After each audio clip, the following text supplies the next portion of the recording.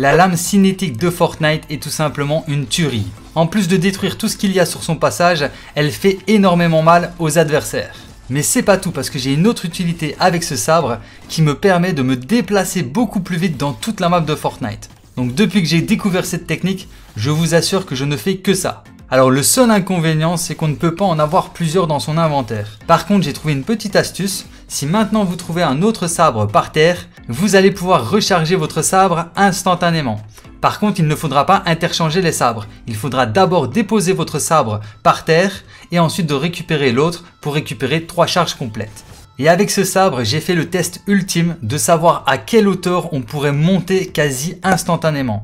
Et là, je me suis dit, ok, je vais aller sur la plus haute des montagnes pour essayer de monter la montagne rien qu'avec le sabre. Et comme vous pouvez le voir dans le gameplay, j'ai réussi, c'est juste hallucinant. Donc ça veut dire que grâce à cette technique, vous pouvez monter n'importe quelle hauteur super rapidement. Et vous n'aurez même pas besoin de faire attention aux dégâts de chute parce qu'avec ce sabre, vous n'avez aucun dégât de chute. Et pour finir sur une folie, je me suis dit je vais essayer de monter la plus grande tour de Mega City, en utilisant que le sabre bien entendu. Et regardez dans le gameplay, j'ai carrément réussi à monter toute la tour du dragon et à reprendre mon envol quand j'étais au sommet. Après je vais pas vous mentir que c'était un peu compliqué, mais j'ai quand même réussi. Donc franchement avec ce sabre, il y a des dingueries à faire sur le jeu.